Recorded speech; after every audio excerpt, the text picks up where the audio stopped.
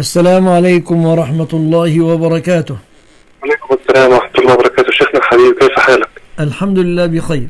الحمد لله. رفع الله قدرك في الدنيا والآخرة. وقدرك رفعه ربي.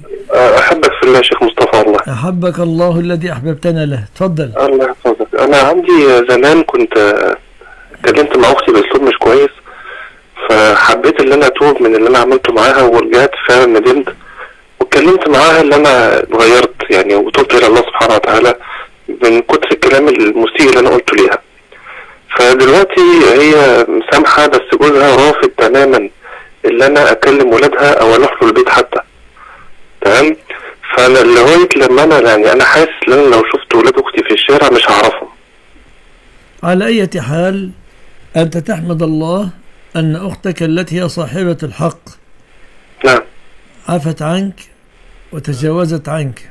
فلهذا يحمد ربنا سبحانه. الحمد لله رب العالمين. تتأتى إن شاء الله بعد توفيق الله وسؤال الله تتأتى بالتدريج بإذن الله. فاصبر واحتسب وواصل تحسين الصورة لوجه الله. نعم. وبإذن الله مع الدعاء كل الأمور ستزول إن شاء الله. الله المستعان جزاك الله خير يا شيخنا. وسعدك الدعاء. الله يبارك فيكم